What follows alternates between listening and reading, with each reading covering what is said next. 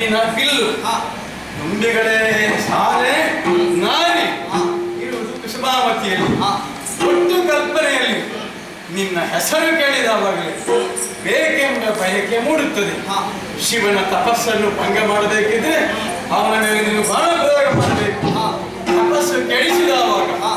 ನಿನ್ನ ಬಾಣದ ಪರಿಣಾಮ ಪ್ರಭಾವ ಹಾ ಅವನ ಮೇಲಾದವಾಗ ಹಾ ಅವನಿಗೆ ಬೇಕು ಬೇಕು ಹಾ. ಬೇಕು ಎಂಬಂತ ಭಾವ ಮೂಡುತ್ತದೆ ಯಾವುದು ಬೇಕು? ಹೆಣ್ಣು ಬೇಕು. ಹಾ. ಹೆಂಡತಿ ಬೇಕು. ಹಾ. ಶಿವನಿಗೆ ಶಕ್ತಿ ಬೇಕು. ಹಾ. ಈ ಭಾವ ಮೂಡಿದರೆ ಶಿವಶಕ್ತಿಯನ್ನು ಒಟ್ಟಾಗಿದ್ದಾರೆ. ಲೋಕಕ್ಕೊಂದು ಸಂತೃಪ್ತಿಯ ಭಾವ ಮೂಡಿಸದಲ್ಲಿ. ಕೆಲಸ ಮಾಡಬೇಕು ಈಗ ಪರಶಿವನನ್ನು ತಪಸ್ಸಿನ ತಪಸ್ಸನ್ನು ಕಳಿಸಬೇಕು ಅಂತಾದ್ರೆ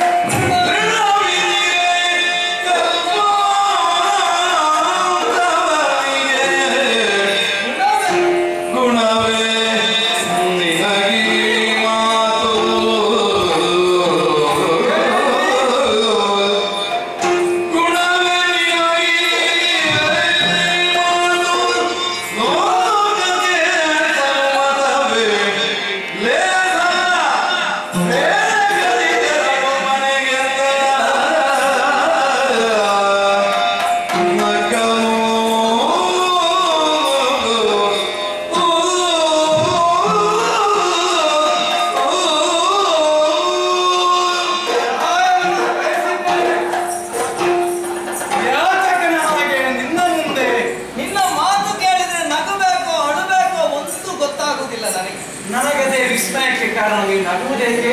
ಇಲ್ಲ ಅಂತಾದ್ರೆ ನೀನು ಹೇಳಿದಂತಹ ಅಲ್ಲಿ? ಏನು? ಪರಶಿವನ ತಪಸ್ಸನ್ನು ಕೆಡಿಸಬೇಕು. ಹೌದು.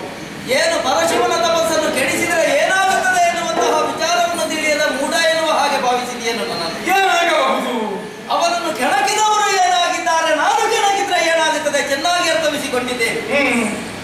ತೃಣವೊಂದನ್ನು ಕೊಂಡು ಹೋಗಿ ಬೆಂಕಿಯ ಮುಂದಿಟ್ಟರೆ ಅದು ಉಳಿಯುವುದಕ್ಕೆ ಸಾಧ್ಯ ಉಂಟೆ ಅಯ್ಯೋ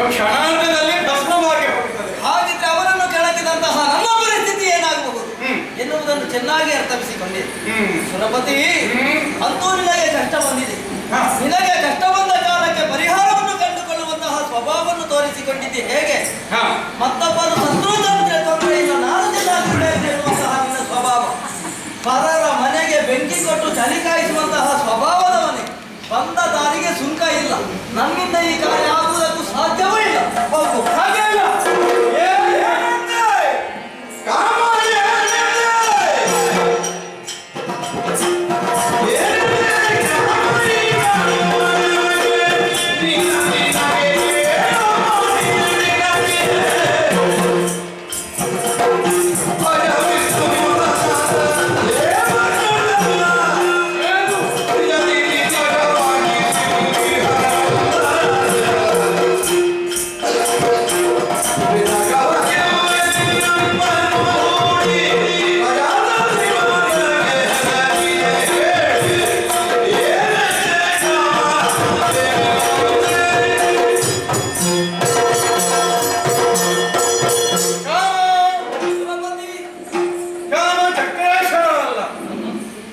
ಕಾಮನೆಂದು ಸಂಬೋಧಿಸುವಲ್ಲಿ ಒಳ ಧ್ವನಿ ಹೊಂದಿದೆ ಈ ಪ್ರಪಂಚದಲ್ಲಿ ಬಯಕೆ ಬೇಕು ಕಾಮ. ಈ ಕಾಮ ಎನ್ನುವುದು ಇಲ್ಲದೇ ಇದ್ದರೆ ಪ್ರಪಂಚ ಮುಂದುವರಿಯುವುದಕ್ಕೆ ಸಾಧ್ಯವಿಲ್ಲ. ಪ್ರಪಂಚ ಅಸ್ತಿತ್ವದಲ್ಲಿ ಇರುವುದಕ್ಕೂ ಸಾಧ್ಯವಿಲ್ಲ. ನನ್ನ ಬೇಡಿಕೆಗೆ ನೀನು ಏನು ಹೇಳಿದಿ ಶಿವನ ಹಣೆಗಣ್ಣು ತೆರೆಯಲ್ಪಟ್ಟರೆ ಸಿಟ್ಟಿನ ಆ ಸುಟ್ಟು ಹೋಗುತ್ತದೆ. ನಾನು ಕೇವಲ ನನ್ನನ್ನು ಉಳಿಸಿಕೊಳ್ಳುವುದಕ್ಕೆ ನನ್ನ ಸ್ವಾರ್ಥ ಸಾಧನೆಗೆ ಈ ಮಾತು ಹೇಳಿದ್ದೆಲ್ಲ. ವಿಷ್ಣುವೇ ನನಗೆ ಸೂಚನೆ ಕೊಟ್ಟದ್ದು. ದೇವೇಂದ್ರ ಕಾಮನ ಮೂಲಕವಾಗಿ ಈ ಕೆಲಸವನ್ನು ಮಾಡಿಸಬೇಕು ಅಂತ.